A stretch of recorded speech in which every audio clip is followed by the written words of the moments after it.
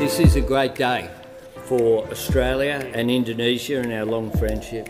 And the Deputy Prime Minister hosted uh, the President-elect for lunch. I'll be hosting him uh, for an early dinner uh, this evening.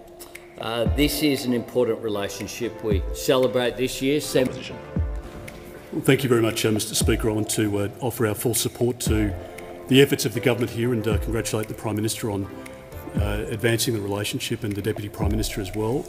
Uh, I had the great uh, fortune to uh, to meet with uh, the now President-elect, uh, then Defence Minister Prabowo in Solomon. My questions to the Prime Minister. Can the Prime Minister update the House on the visit by President-elect Prabowo Subianto? How is the government strengthening our relationship with Indonesia? The call to the Prime Minister. I thank the member for Solomon for his question and for his deep interest in the relationship between Australia and Indonesia, which of course is a neighbour uh, to uh, the electorate that the honourable member uh, represents. And today I welcomed Indonesia's President-elect uh, Prabowo Subianto to Australia. Our partnership with Indonesia is profoundly important to Australia uh, we'll continue to strengthen our ties. Economic partners, security partners and partners in the global transition to net zero. And this morning we announced the conclusion of negotiations on the Australia-Indonesia Defence Cooperation Agreement. Let's be very clear.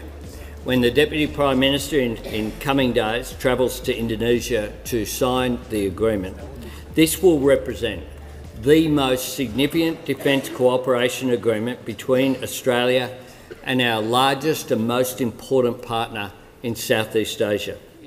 It signals our shared commitment to a peaceful and stable region where sovereignty is respected.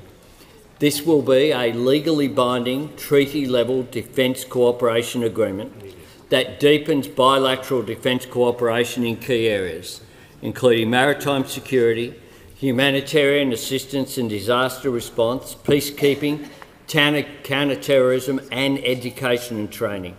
It will enable stronger defence cooperation by supporting increased dialogue and strengthening the interoperability of both of our defence forces.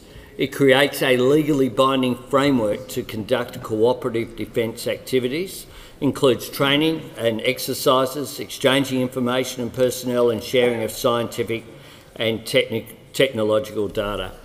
This is a great day for Australia and Indonesia and our long friendship.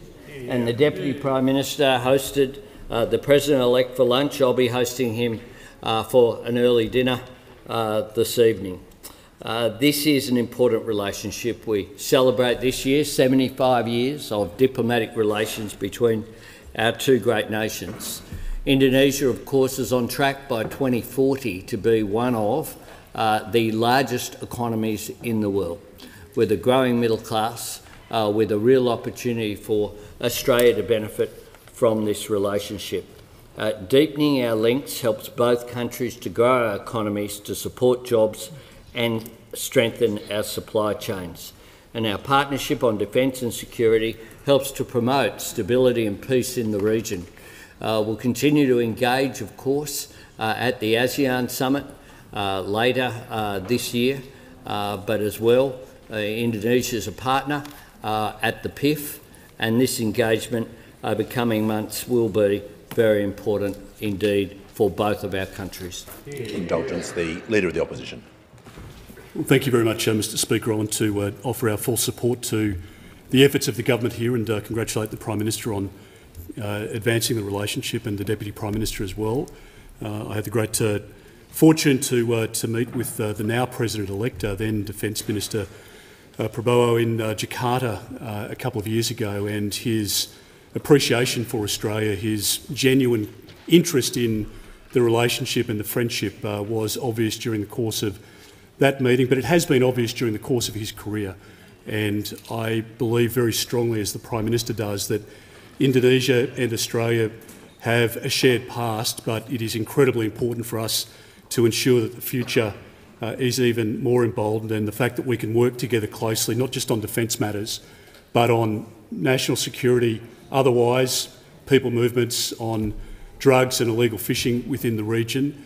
And Indonesia obviously brings a very significant effort to making sure that uh, with near neighbours uh, we can protect and defend our equities uh, as we go forward. And uh, I uh, welcome any opportunity uh, uh, to work with the Prime Minister and to support the work of the government in what is a very important uh, bilateral uh, agreement uh, and arrangement and friendship between our two countries. Call to the member for Barara. Thank you, Mr Speaker.